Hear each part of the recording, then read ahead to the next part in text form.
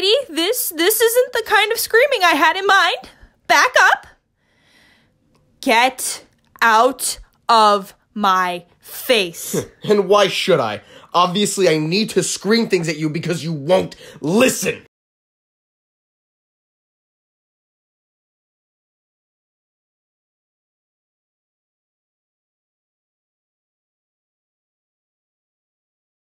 They stare at each other, there's close ups, and when they start shoving each other, it goes on to Margot and it sort of shows her sinking further and further down because she really isn't someone to confront them. Don't touch me!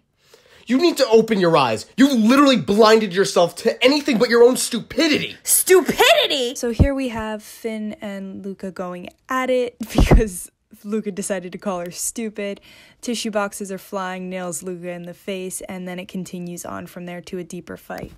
You can't be serious. I'm the stupid one who has wings but is afraid of heights. oh, real mature coming from Miss Self Pity over here. Oh, woe is me. Woe is everything. Pathetic.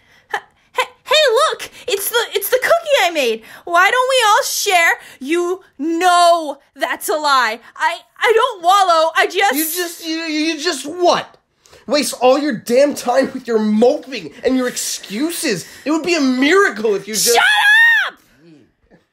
So this piece ends off with Finn starting to really lose control of her powers as she and Luca really, really go at it.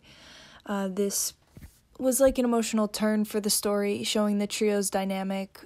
Margot not really sure what to do, Luca being the overprotective mother bird sort of figure who completely loses it at the sake of Finn's safety, and Finn just completely wallowing in her own uh, lack of confidence. I feel like it works really well, and I'm really happy with how this turned out. Having my friend Chris on board was like super fun too. We enjoyed it.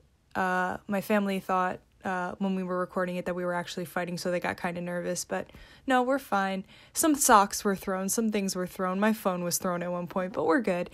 Uh, so I very much enjoyed this, and I hope you guys did too. Peace.